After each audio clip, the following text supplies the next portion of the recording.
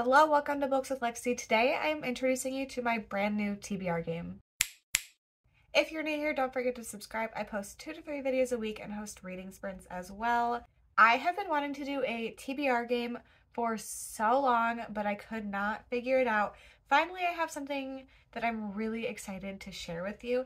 These are just going to be the instructions, not my first time playing it. But my next video is going to be my very first round of Escape the TBR. So I have created a board and the goal is to escape. It's like kind of escaping a haunted house. It's not like an escape room where you have to figure out clues to unlock certain things to get out, but I will have to escape the house layout. So this is the board.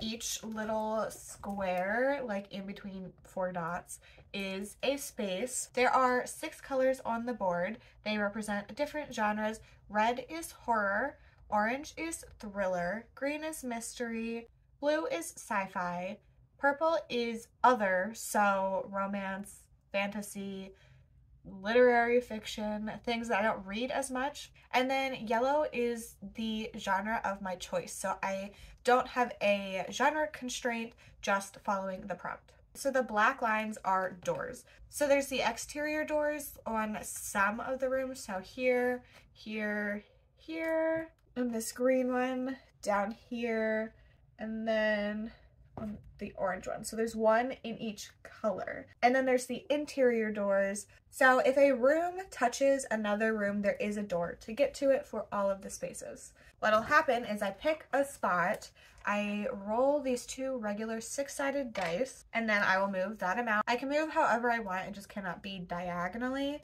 and I will just make my way through here. I did make my favorite genres a little bit bigger than others. And I do plan on starting on different entrances each time I play so that I do get to different genres more often because like up here is where most of the yellow is.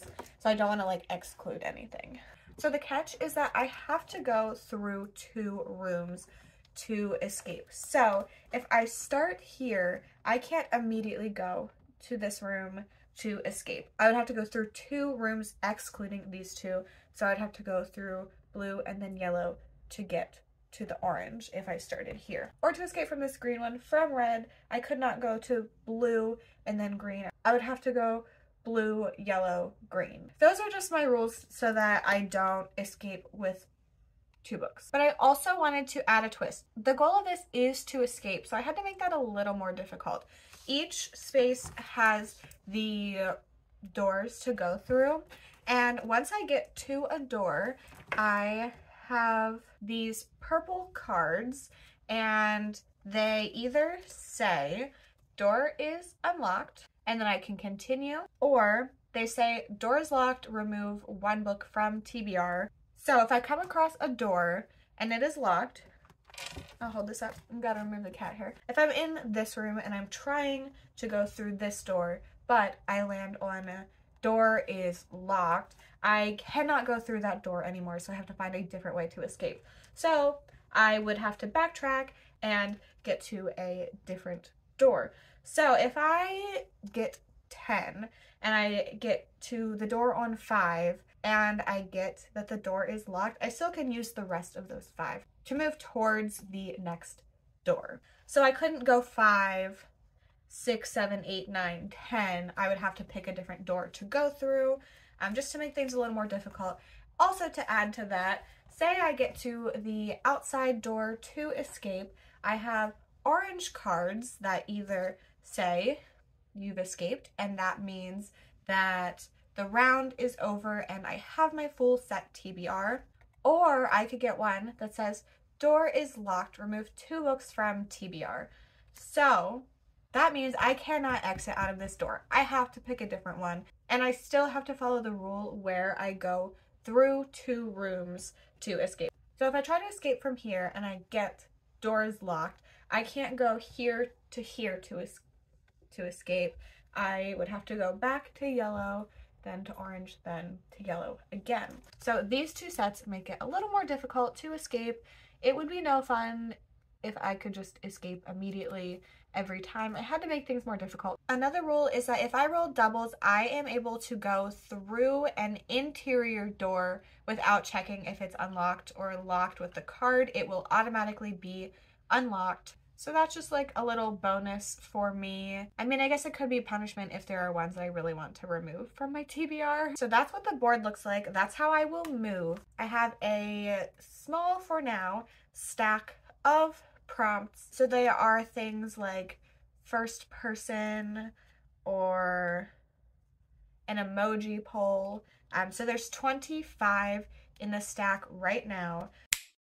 So I'm editing and I realized I wasn't very clear about how the prompts actually work. So I will roll the dice and move that amount. And whenever I land on a square at the end of that roll, I will pick a prompt card and I will have to match the genre for the room that I'm in with the prompt that I pull. So if I'm on red, I will have to read a red book that matches that prompt. So every time I roll, I will be getting a new prompt. And also with the cards that say remove one or two books from TBR, I will get to just choose and remove whichever ones I want. It does not have to be the most recent one that I pulled. I think that pretty much covers everything. I have my different genres, the way I move about the board, the prompts, the cards that determine if I can go through a door or if I can escape or not. So the reason I put remove one book or two books from TBR is because I did not want to make this that I ended up with 30 books in my TBR. I do generally want to keep it around 10. If it ends up being more, like that's my own fault and that's fine. But I did not want this game to be 30 books every month because I just can't do that. I think that's all you need to know to understand how I am playing Escape the TBR. I would love to know what you think of this new game. I hope everything was clear. It will make a lot of sense when you see me play it as well. That will be my next video after this one. Definitely hit the bell below to make sure you get notified when I post my TBR game. If you have any prompts you would like to see me add to this game, leave them in the comments, and if there are any that I don't already have in my game, I will add them. I'm so excited to share this with you. I cannot wait for you to see it in action. I hope you enjoyed this video. Thank you so much for hanging out with me, and I hope to see you in my next one. Bye!